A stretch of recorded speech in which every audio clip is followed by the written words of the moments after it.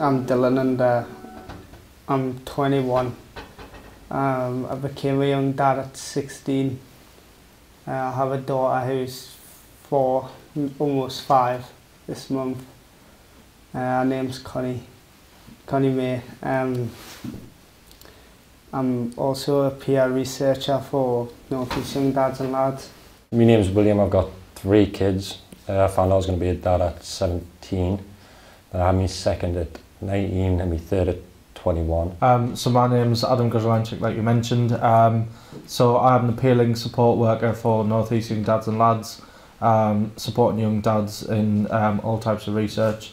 Um, and currently we are doing the diverse dads research. What that entails is kind of looking at the support within the northeast um, for dads of different cultures and ethnicities. I first got involved was just one-to-ones with Kevin because there wasn't there wasn't a charity then it was just he was doing some work for a young women's project and he was meeting a bunch of the young women's partners and obviously my partner gave him my contact details he met us when I was in school I think it was like 2015 if I can remember rightly Like I say, uh, I like to be actively involved with the young dads. Like I feel if it's anything that can help the young dads, I'm quite happy to do it. So if it's going to help out anything like what we didn't have support wise when we were going through this sort of stuff, and if we can change that, then yeah. Um, in regards to ethnicities and the young dads that are coming through the doors, um, especially through referrals and um, kind of the group work that we're doing, so the likes of football and um, beekeeping and all sorts like that.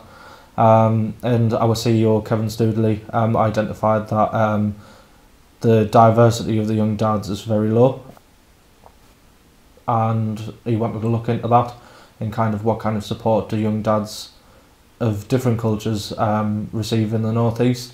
Um, and he got in touch with um, the following young fathers um, team and um, got talking about it and said actually this would be a really great piece of work to do um, and um, pitched it to me and two young dads and we went from there.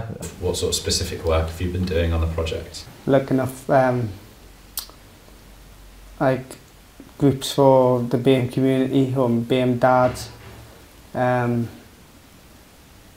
writing it up about uh, finding It's not like formal. Like I, that, the thing is, it's like it's formal obviously for like when we're going through certain meetings and stuff like that. But it's going to be for the work itself. It's not like it's all formal. Can have like a daft laugh about it. And it makes you just feel more relaxed to do the work really. So I've enjoyed working with the lads that I work with, working with the full team.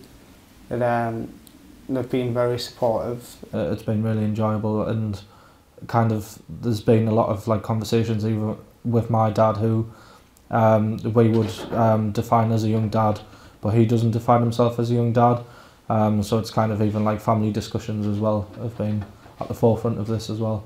We found that there was a lot of support in the bigger cities like Durham, Newcastle and like Gateshead but there's not a lot of sport in like the like Darlington and stuff like that and we're just we feel like that there needs to be more support there. before no support groups for like obviously parents like we couldn't find. So obviously I thought if I look further into obviously the pregnancy rate itself and we're going off each specific area so like obviously Hartlepool, Durham and Gateshead whatever and we're obviously searching up to find out what the pregnancy rates are of like over the communities really to see obviously there is some need for sort of support in that area.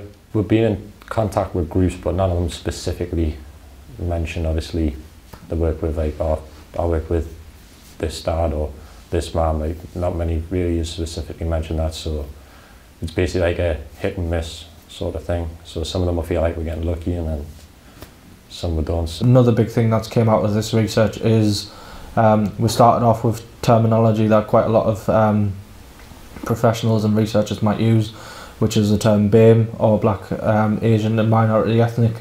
Um, and in actual fact, after having conversations with professionals and um, no doubt um, the young dads as well um, it will illustrate that um, that term isn't the greatest term to be using. And actually the best thing to do is rather than presume um, is just to ask um, how they would like to be identified and go from there.